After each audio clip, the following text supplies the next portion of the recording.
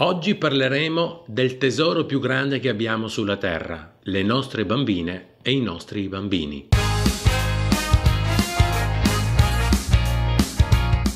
Vorrei iniziare con una delle più belle frasi sull'infanzia. L'ha detto una grandissima donna, una donna più apprezzata all'estero che non in Italia, Maria Montessori. Ha avuto quelle intuizioni che ci hanno permesso di capire chi è veramente un bambino. È come se Maria Montessori si fosse messa all'altezza di un gatto per osservare dalla prospettiva del bambino come il bambino vede il mondo. Oggi cercheremo di comprendere quali sono almeno tre dei bisogni principali, cioè delle domande dei nostri bambini. Chi sono allora i bambini? Come direbbe Pier Paolo Gobbi, i bambini sono domande, domande che arrivano su questa terra. Chi sono i genitori, gli insegnanti, le nonne? Sono le risposte. Il primo grande bisogno di un bambino è il bisogno di sicurezza. Abraham Maslow ha affermato soltanto un bambino che si sente sicuro osa crescere sanamente. Pensate, sano di mente. In effetti nessun bambino, nessuna bambina viene al mondo con una cosiddetta malattia mentale. Oggi tutte le ricerche dicono che la malattia mentale è il risultato di un'interazione. Qualcuno dice che ci potrebbe essere anche una componente genetica, ma in realtà è proprio un discorso di interazione con le persone che si prendono cura di noi. In effetti, se ci pensiamo bene, per tutta la vita noi abbiamo il desiderio di una protezione, di sentirci rassicurati, di sentire insomma qualcuno che ci accompagna nel viaggio della vita. Il secondo grande bisogno di ogni bambina e di ogni bambina è il bisogno di contenimento. Sentite che bella la frase di Winnicott. Ci sono madri che sanno tenere in braccio il loro bambino,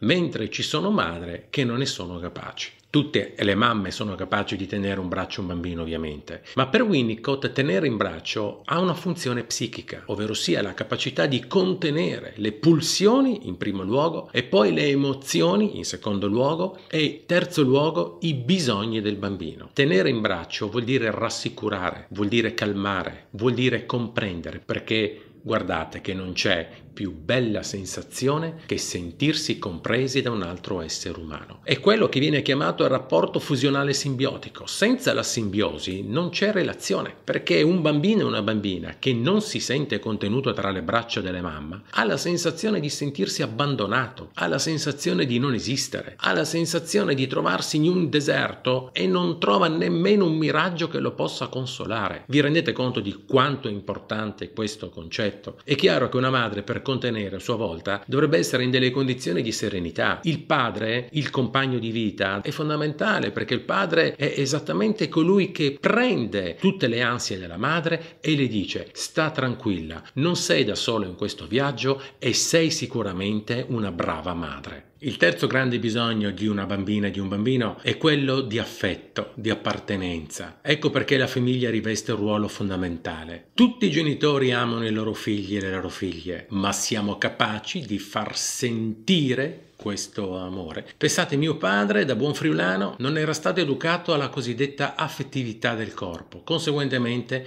non vi era un contatto. Ricordo ancora un abbraccio che mi ha dato, io avrò avuto 16 anni, avevo appena finito di guardare Happy Days, ve lo ricordate? Così capite quanti anni ha il vostro coach. In quel momento, in quell'abbraccio, io ho proprio sentito un calore, proprio sentito proprio invadermi letteralmente, ma lo ricordo benissimo, come se fosse ieri. Avete presente quelle esperienze che sono talmente talmente impresse nel nostro sistema limbico, nel cervello delle emozioni, che ti rimangono per tutta la vita? Proprio così, far sentire il nostro amore. Non solo dirglielo, ma proprio farglielo percepire. E qual è il modo migliore per trasmettere questo grande bisogno degli esseri umani e soprattutto dei bambini e delle bambine? La presenza. Non c'è messaggio più importante che essere presenti al loro presente. Spesso e volentieri le mamme sono di corsa, vanno a prendere i bambini alla scuola materna, poi devono fare la spesa, poi devono stirare e poi devono, devono, devono, devono. E tutto questo ovviamente mette una madre nelle condizioni di avere mille pensieri. Beh, dovremmo essere un po' Hakuna Matata, cioè dovremmo un po' essere senza pensieri quando stiamo con le nostre bambine, con i nostri bambini, perché il fatto di goderci la loro presenza fa sentire loro quanto li amiamo e quanto sono desiderati. Vorrei concludere ricordando che l'educazione è la cinga di trasmissione della nostra umanità. Senza educazione nessuno nessuno di noi diventa veramente un uomo, diventa veramente una donna. Ed è proprio per questo che c'è bisogno di tutti, c'è bisogno delle scuole, c'è bisogno degli insegnanti, c'è bisogno dei nonni, c'è bisogno delle catechiste, dei catechisti, degli allenatori, delle associazioni culturali. Insomma, l'educazione è come far crescere una foresta.